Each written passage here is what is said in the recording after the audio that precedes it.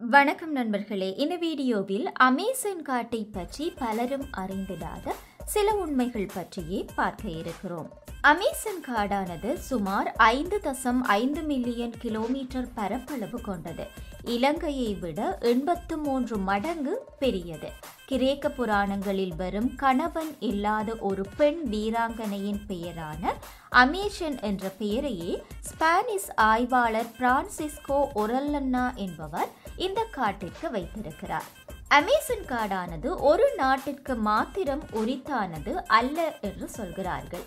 இது சுமார் எட்டு நாடுகளுக்கு உரித்தான காடாக இருக்கிறது. இதன் எழுபத்தி ஐந்து வீத அளவு நிலப்பரப்பு பிரேசில் நாட்டிற்குள்ளும் இருபத்தி ஐந்து வீத அளவு கொலம்பியாவுக்கும் வெனிசுலாவா Ecuador Peru Bolivia France Guiana Guyana Suriname போன்ற நாடுகளுள் ஒரு பகுதியையும் பிடித்திருக்கிறது.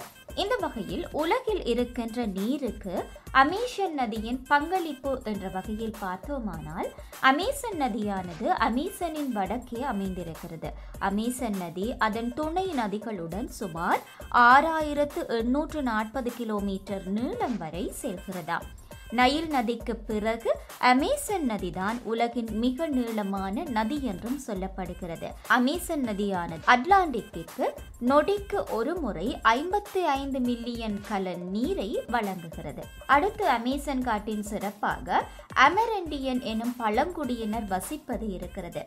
அபிவிருத்தி அடைந்த நாட்டிலும் பழங்குடியினர் வாழ்கின்றார்கள் என்றால் அமேசன் காட்டில் தான் வாழ்கிறார்கள். இங்கு அமெரிண்டியன் எனும் பழங்குடியினரின் ஒரு பகுதி உலக மக்களுடன் ஒருபோதும் தொடர்பு வைத்ததில்லை என்று கூறப்படுகிறது. உலகிலேயே சுமார் நானூறு மக்கள் தொகையை மாத்திரமே கொண்டவர்கள் இவர்கள். அதுவும் இந்த அமேசன் காட்டில் மட்டுமே இருக்கிறார்கள். அடுத்து அமேசனில் வாழும் உயிரினங்கள். அமேஷன் உலகின் அதிகமான உயிரினங்கள் வாழக்கூடிய இடங்களில் ஒன்று. அமேஷனில் நாற்பதாயிரம் வகையான தாவரங்கள் ஆயிரத்து முன்னூறுக்கும் மேற்பட்ட பறவை வகைகள் மூவாயிரம் வகையான மீன்கள் நானூற்று முப்பது வகையான பாலூட்டிகள் அமேசனில் பூச்சிகள் மட்டுமே இரண்டு தசம் ஐந்து மில்லியன் வகைகள் வாழ்கிறதாம். அதே போன்று அமேசனில் மூவாயிரத்திற்கும் மேற்பட்ட வகையான பழங்கள் இருக்கிறது. அவற்றில் சுமார் இருநூறு பழங்களை மாத்திரமே உலக நாடுகள் சுவைத்திருப்பதாக சொல்லப்படுகிறது. மிகுதியை சுவைக்கும் பாக்கியம் அங்கு இருக்கின்ற மக்களுக்கும் உயிரினங்களுக்கும் மட்டுமே கிடைக்கிறது. அடுத்து அமேசனில் இருக்கின்ற ஆபத்தான உயிரினங்கள். அமேசன் காட்டிலும் சரி நதியிலும் சரி ஆபத்தான உயிரினங்களுக்கு பஞ்சமே இல்லை என்கிறார்கள்.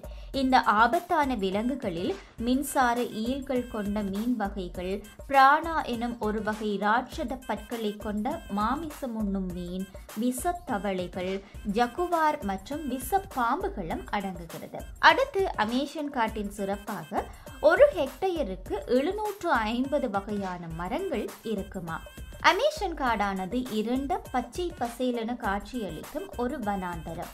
இந்த வனாந்தரத்தில் பெய்யும் மழையில் ஒரு மழைத்துளி நிலத்தை வந்தடைய கிட்டத்தட்ட ஐந்து முதல் பத்து நிமிடங்கள் கூட எடுக்குமா இந்த அளவுக்கு அதிகமான மரங்கள் இங்கு இருக்கிறது. மேலும் இந்த மரங்களின் ஆதிக்கத்தின் தன்மையை கூறும் ஆய்வாளர்கள் இந்த வனாந்தரத்தில் ஒரு ஹெக்டேயரில் எழுநூற்று ஐம்பது வகையான மரங்கள் இருப்பதாகவும் விளக்குகிறார்கள். அடுத்து உலகை காக்கிறதாம் அமேஷன் காடு.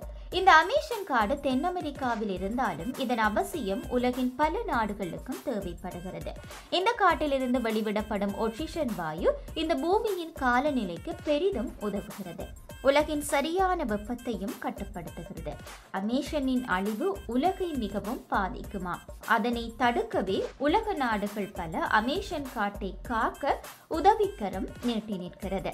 மேலும் இது போன்ற வீடியோக்களை பார்வையிட வணக்கம். லண்டன் யூடியூப் சேனலை சப்ஸ்கிரைப் செய்யுங்கள்.